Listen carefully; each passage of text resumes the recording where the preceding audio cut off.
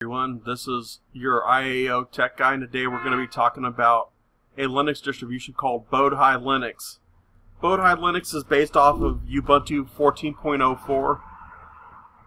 I would say that it's a very uh, minimalistic um, distro, um, and you know I uh, I came across this actually from a, a comment one of my uh, someone made on my uh, Zorin OS video and he was asking if I could if if he could uh, put the Enlightenment desktop, which is the default desktop for Bodhi Linux, onto uh, Zorin OS, and I did a little bit of research and found out that you couldn't do that. But it piqued my curiosity, and I decided to dig further. And here we go. I got Bodhi Linux running in a virtual box. I'll go ahead and full screen it for you right now, and we can take a quick tour of this uh, uh, Linux distribution. So that's how I came across it. And to be fair, let's I'm going to go over the good things about it, the bad things, and then I'm going to give you my bottom line up front. So here's the good things. It it's easy to install like most Ubuntu based distributions. It's a very hassle-free installation. It's very straightforward. There isn't a lot of um it's not very complicated. It's pretty easy to do. Though in VirtualBox, and this shouldn't, this doesn't affect the the way the operating system works, the distribution works. This is just kind of a personal thing I like to add in is that I had a hard time getting the VirtualBox guest editions working on Bodhi Linux. But I did some research, I figured it out, and here we are. Okay, so, you know, let's start off with the, um, well, okay, covered that. Easy to install. And another advantage, and this depends on where you're coming from, because some people they like a they like having a distribution a Linux distribution with everything already installed for them, like their Office suite, video player, audio stuff, internet browser, etc. Now, some other people were kind of very hardcore, very minimalistic, like a minimum install, which is the basics, and Bodhi Linux just gives you the basics. So, here are your applications: Archive Manager, LeafPad, Midori Browser, you get a package manager, a file manager, and a um, and a terminal uh, a terminal program, so you can get to a, a, a command line, and that's that's all it comes with. And it also comes with Synaptic, but you got I think you got to kind of dig for that to to get a to get the Synaptic package manager. But like I said, it comes with EDEB, its own Linux package manager, and you know it's you know, like I said, it's a very minimalistic program, and some people like that. Some people like having control over their um, complete control over their uh, operating system, where they install the packages that they want.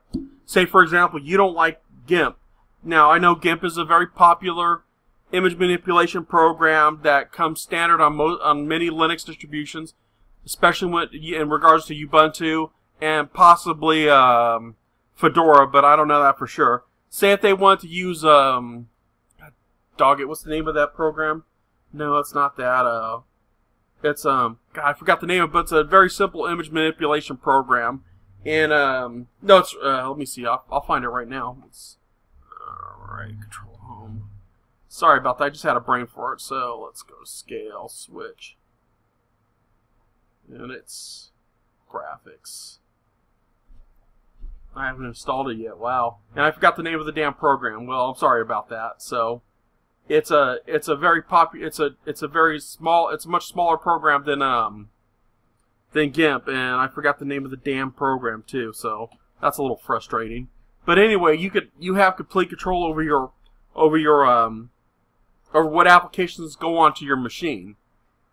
And you can install exactly what you want how you want it without fuss or muss or anything like that. So it's a very bare bones operating system. I think the um the ISO download of this is like 600 and something megabytes, and that's nothing at all.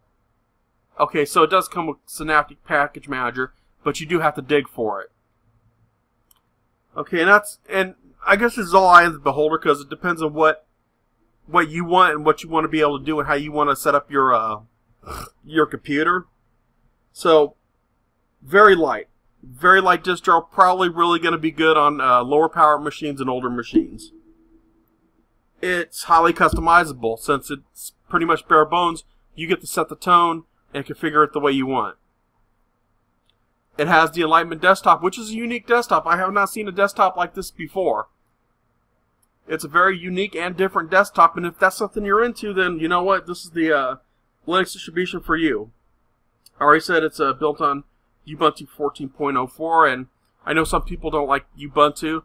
Me personally, I don't like the Ubuntu distribution itself because I hate the damn um, Unity desktop because it looks like a they they've gotten into this kick of trying to make the desktop look like a tablet. Windows did that in Windows 8, Windows 8.1. Um, I don't know if they're bringing back the start menu in Windows 9. Now, now they did say they're going to bring it back in Windows 10, but it just you know, but the Ubuntu 14.4.04 operating system itself, I like it. I mean, I'm running Zorin, which is built on top of that. Linux Mint is built on top of that. Several other distributions of Linux are built on top of Ubuntu 14.04. And there are other distribu- there are other uh, Linux distributions out there that are really good. Fedora, some people like Fedora. A lot of people are getting um, are, are digging on uh, Man, uh, Manjaro Linux. And you got the hardcore geeks that like Slackware, Arch Linux, and similar distributions. And overall, the beauty of Linux is that there's a there's pretty much it's like Baskin Robbins 31 flavors. There's pretty much a flavor that you can find that you can get into. Now let's talk about some of the disadvantages of Bodhi Linux, and this is just my personal opinion. You want to have a discussion about it? I'm cool with that. We can have a discussion. Just you know, the the name calling, the just going into attack mode's gonna get you banned and muted on my channel because I don't have time for it. But if you want to have a discussion, and we could discuss the merits and you know and exchange ideas, and cool, awesome. I'm real, I'm down with that. Now the things that I see that I would consider disadvantages to Bodhi Linux, it's not very noob friendly. It doesn't look like a you know if you're if you're coming from Windows or Windows XP, this desktop will take a it'll take a while for you to navigate around and figure things out, and then you're gonna have to install applications and get things set up the way you want. And it's it's a little complicated. I mean, I had to dig through a bunch of menus and look through a bunch of stuff just to be able to change the font size on this because I can't. I, I have a hard time reading the small fonts with the bigger resolution um, screens. If that makes sense. I, I still haven't been able to find a way to change the display resolution on this, so it's defaulted to the 1920 by 1080 uh, resolution that my um, that my HD uh, TV has, which I use as a monitor. But I could not find a way to change the display resolutions on this that really kicked my butt. I, you know, and it it was you know, and it was a little bit. It's a bit of a learning curve. So if you're coming from Windows, like I said before, if you're coming from Windows and you want to get into Linux, I I would say this is not the distribution for you. I would say go with a Zorin, a Linux, uh, a Linux Mint. I mean, hell, even give a even give Ubuntu itself a try. There are several other distributions out there that are more um, friendlier to people that are coming from Windows. This is not the one that doesn't make it a bad distribution. It just I just wouldn't recommend it for newbies coming from Windows or newbies to computing. Period. You know, and conversely, one of the advantages of it that it doesn't come with a lot of stuff, so you can install exactly what you want. There's also a disadvantage at the same time, especially if you're a, a noob to Linux. It doesn't come with a lot of stuff.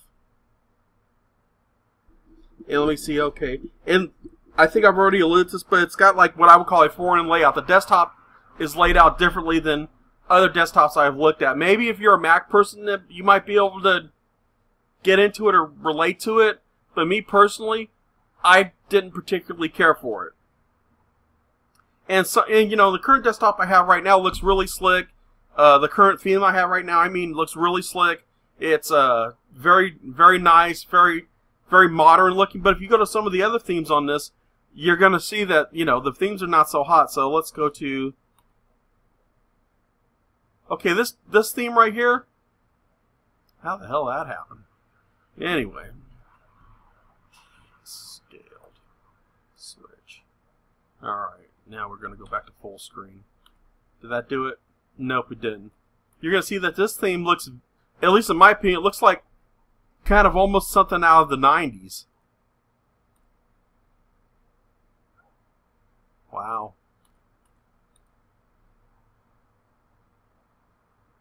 Control, desktop, alignment, settings.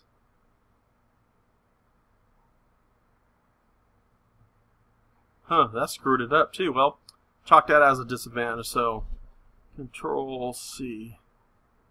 Scale mode. Alright, let's go back to scale mode and see what we get. There we go. Let's get out of that theme. Let's try this one.